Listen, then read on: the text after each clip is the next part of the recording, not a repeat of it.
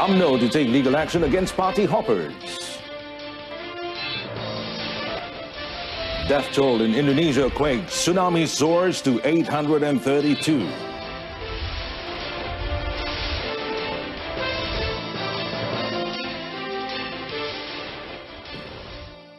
Hello and good afternoon. You're watching News on 2, and I'm Amin Carlos. UMNO President Dato Sri Dr. Ahmad Zahid Hamidi has emphasized that legal action will be taken against Barisan Nasional's elected representatives who leave the party. While he added that a line of lawyers have been appointed to look into the issue, although no names have been disclosed. Tindakan undang-undang telah dilakukan. Rit saman telah dihantar. Jadi kita telah menyerahkan kepada uh, pasukan peguam uh, untuk uh, mengheret mereka dan melakukan tuntutan uh, menurut aspek perundangan yang memperuntukkan perkara-perkara yang berkaitan. Dato Sri Dr. Ahmad Zahid said this in a press conference soon after his winding up speech at the UMNO General Assembly in Kuala Lumpur. The matter came up when several UMNO elected representatives decided to leave the party a few months after the 14th general election. Well, meanwhile, still on the issue of party hoppers, Secretary General of Parti Pribumi Bersatu Malaysia, Bersatu, Dato Marzuki Yahya, is not dismissing the possibility of more UMNO leaders jumping ship in an effort to join Bersatu. He, however, said no application has been received so far. Dato Marzuki said although the party is open to new members, those who apply will have to be thoroughly screened before they are accepted by the party. Kita akan buat saringan kepada uh, ahli-ahli parlimen ataupun yang bekas-bekas menteri sebelum ini yang pernah memegang jawatan tertinggi di dalam parti untuk masuk kalau mereka memohon untuk menyertai parti kita. Uh, jadi bukannya semestinya kita boleh terima sebulat suara kata mereka letak jawatan ataupun keluar parti ini hari dan besok masuk bersatu. No. Dia harus buat permohonan dan kita ada saringan kita sendiri. Dato Marzuki, who was also Deputy Foreign Minister, said this after launching the Bubur Ashura distribution program for residents of Bandar Tun Razak in Kuala Lumpur. Well, no other reason other than to return to politics. And this was a comment given by Tan Sri Muhammad Isa Samad when asked about his decision to leave UMNO and contest as an independent candidate for the upcoming Port Dickson by-election. Tan Sri Muhammad Isa said it has always been his desire to contest in Port Dickson, but never had the chance to do so. Kalau saya jadi alam no seperti saya sebut, parti mungkin mungkin akan memecat saya. Jadi saya tak mahu nyusahkan parti pecat saya. Lebih baik saya letak jawatan uh, berhenti daripada jadi ahli parti dan saya bertanding. Yang mana sebanding sebagai uh, orang yang tak mempunyai parti. Uh, itu itu matlamat saya. Kalau dia kata Tan Sri Isa dipecat, jadi tak apa sedap bunyinya. Tan Sri Muhammad Isa said this during his campaign rounds at Kampong Jimah in Port Dickson. Well, oh, meanwhile, Pakatan Harapan aims to boost the local economy in Port Dickson with a particular focus on the Bukit Pelanduk area. And according to its candidate, Dato Sri Anwar Ibrahim, Bukit Pelanduk was chosen because he wanted to develop the place, create jobs and boost the local economy. On the second day of the campaign trial, well, or campaign trail, Dato Sri Anwar was warmly welcomed by the constituents during a walkabout at the Port Dickson market yesterday. In his expressing his confidence to develop the constituency, the PKR president-elect pointed out that Port Dickson can grow better and several investors had already pledged to help out, well, even though he had not yet won the election.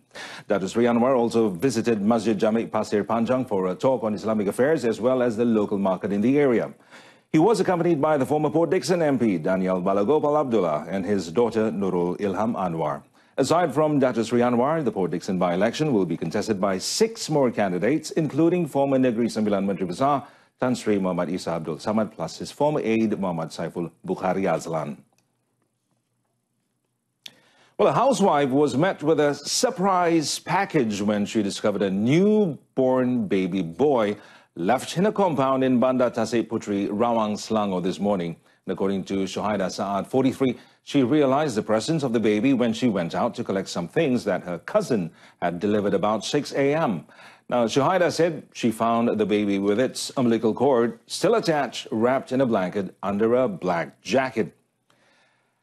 The infant was cold and hungry, so Shohaida took him inside.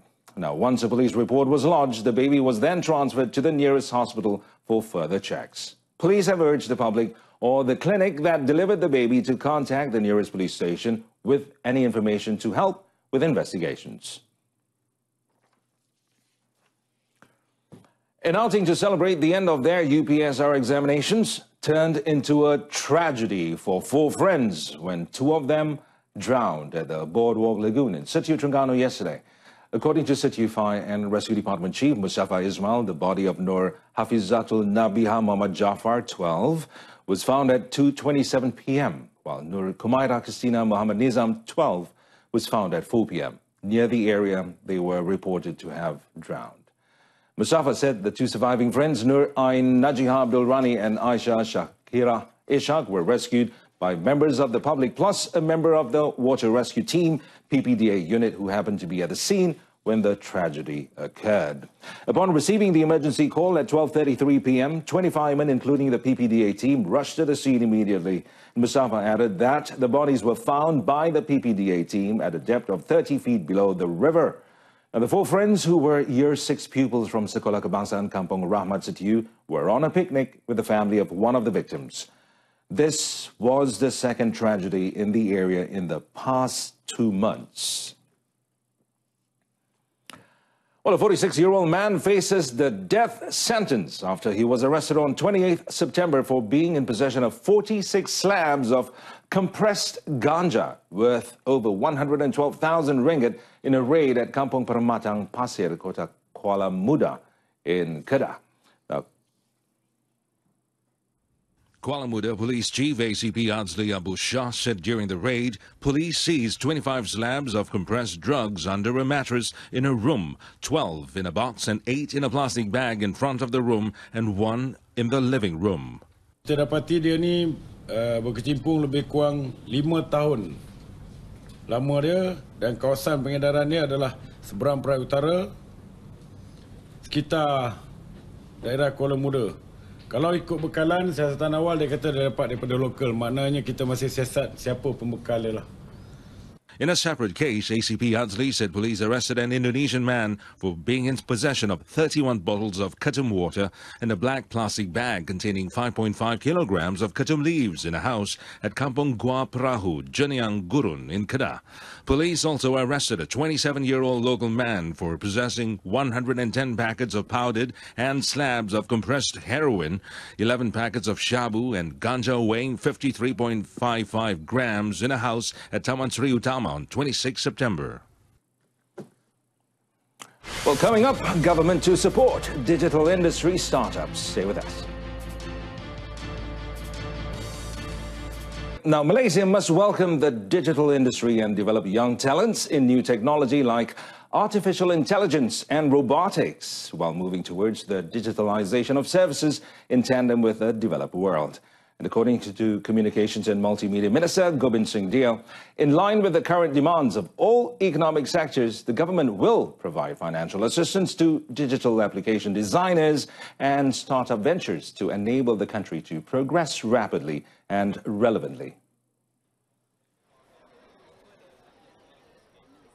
Jadi saya sekarang sebagai menteri, saya mengambil pendekatan uh, uh, di mana saya ini I reach out kepada industri ini. Karena saya nak tahu apakah masalah mereka. Saya nak tahu bagaimana kita dalam kerajaan Pakatan uh, Harapan dalam Malaysia baru ini kita boleh uh, bekerjasama dengan industri ini supaya kita boleh bawa ke depan industri ini.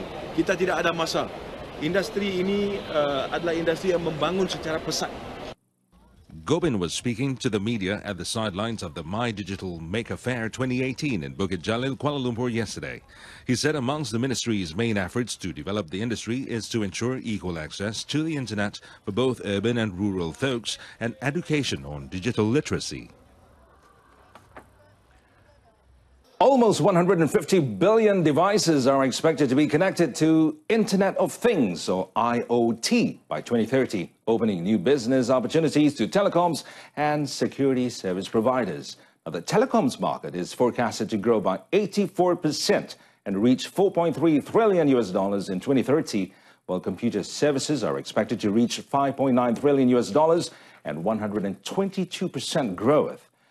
According to Euromonitor International's new research, high-tech goods production value is expected to triple to reach 16 trillion US dollars in 2030, driven by emerging IoT solutions creating more effective production networks by combining physical devices and systems to interconnected networks.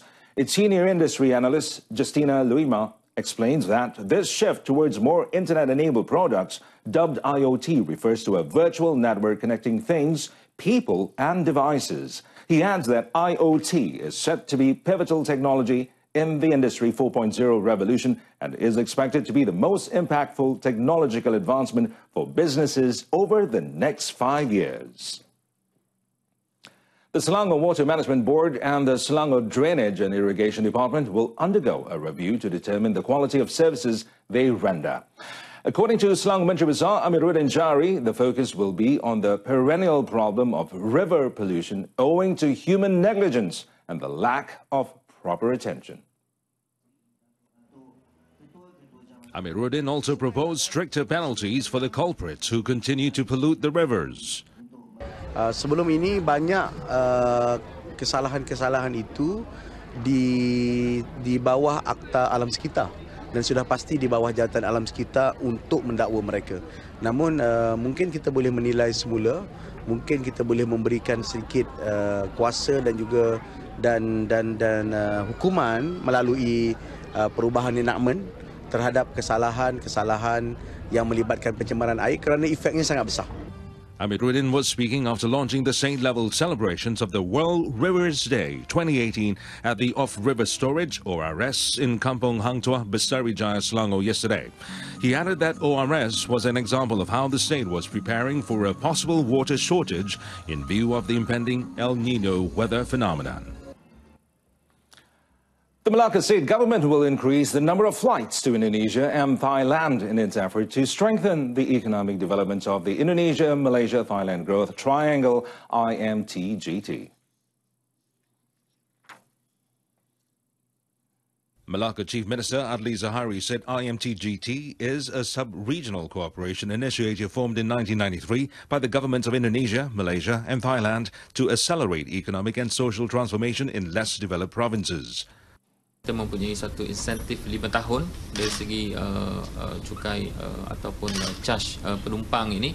Jadi kita akan gunakan insentif 5 tahun kita ini untuk kita memulakan uh, penerbangan kita ke uh, Indonesia dan juga ke Thailand. Jadi kalau saya yakin bahawa dalam tahun ini juga kita akan uh, mempertingkatkan lagi hubungan itu.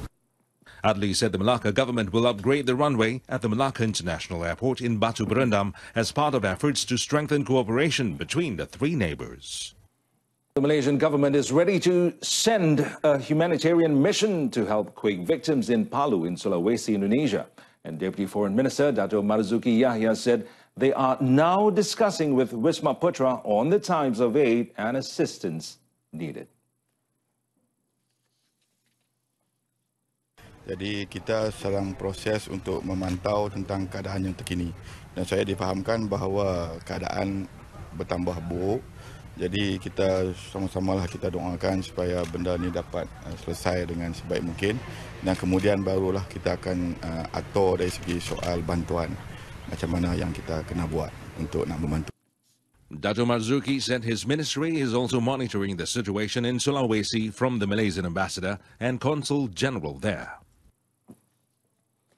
And with that item, we conclude this afternoon's edition of News On 2. And now, top story death toll in Indonesia quake tsunami soars to 832 and expected to rise further. Well, News on 2 will come on again at 7 this evening with more updates. Till then, I'm Amin Carlos, and thank you for watching.